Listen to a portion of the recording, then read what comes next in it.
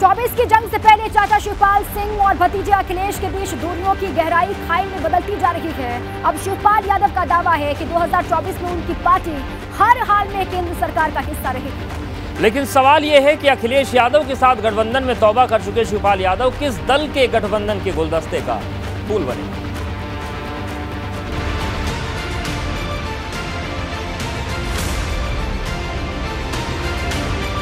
हमारा केवल एक ही लक्ष्य है। 2024 में 2024 में मुझे सरकार में रहना है।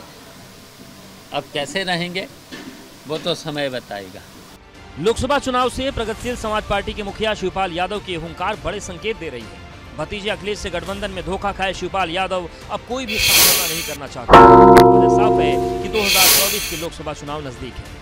अब मुझे समाजवादी पार्टी में तो जाना नहीं है। चलिए यार मुझे समाजवादी पार्टी से कोई समझौता नहीं करना है। बहुत धोखा खा चुके हैं।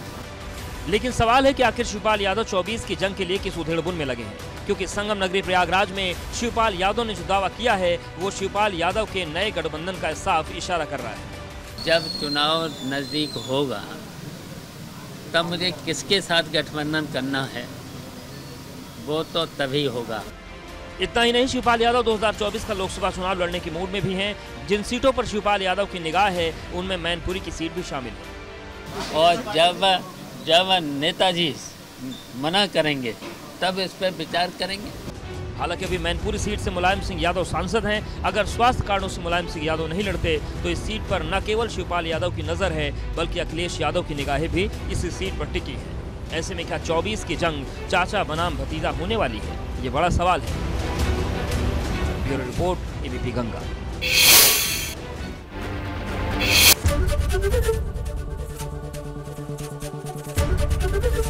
ABP Ganga खबर आपकी जुबा आपकी।